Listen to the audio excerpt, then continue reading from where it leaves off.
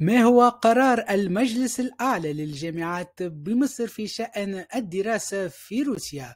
وما هي قائمة الجامعات الروسية في تخصص الصيدلة؟ أسئلة هامة في حياة كل طالب يود أن يكمل دراسته في هذا الاختصاص. مرحبا بكم في قناة دبلوموفيتش معكم عادل القرعي خبير في التوجيه والإرشاد الجامعي. المعلومات الهامة في صندوق الوصف تجدونها تحت هذا الفيديو.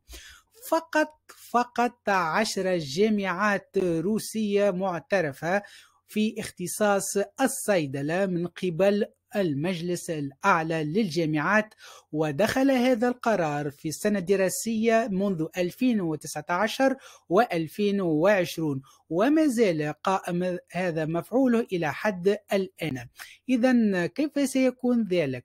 نقطة الاستفهام سيكون ترتيب الجامعات من المرتبة العاشرة إلى المرتبة الأولى حسب آه، مجلس الأعلى للجامعات وفي الأعلى سيكون موقع الجامعة الرسمي.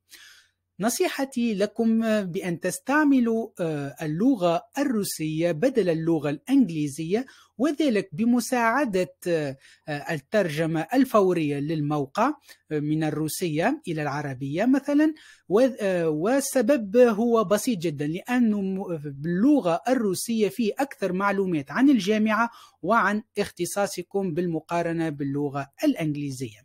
وفي الأسفل سيكون اسم الجامعة باللغة العربية. إذا فننطلق ونتعرف على المرتبة العاشرة وهي جامعة بينزا الحكومية.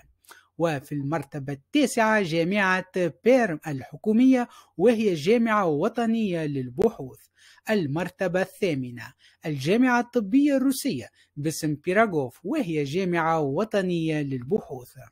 المرتبة السابعة جامعة فولغاغراد الطبية الحكومية. المرتبة السادسة الجامعة الشمالية الشرقية الفيدرالية باسم أماسوف. المرتبة الخامسة. جامعة بلغراد الحكومية وهي جامعة وطنية للبحوث.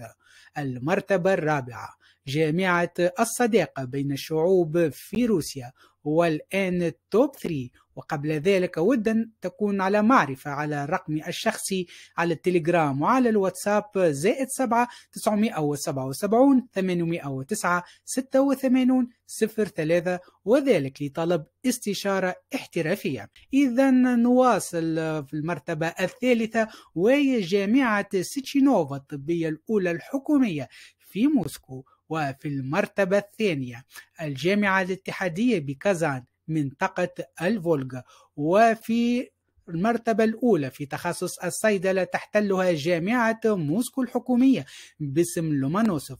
ولا تنسى بأن تكونوا كذلك مشتركين معنا في دوبلوموفيتش على التليجرام لتسهيل أمور البحث. اكتب هاشتاج اسم الاختصاص أو اسم الجامعة وتأتيك في لحظات هذه الفيديوهات. ولا تنسى بأن تتعرف على المعلومات الهامة في صندوق الوصف على لكل الجامعات واحدة بواحدة. وللحصول على مثل هذه الصورة في نهاية المشوار الدراسي الجامعي في روسيا هناك نصيحة واحدة وهي اختر اختصاصك الذي أنت وأنت ماذا تحبون ولا تستمعوا إلى آراء الآخرين ما يفرضونه عليكم. هذا هو سر النجاح. شكرا لكم على المتابعة. ودمتم بخير.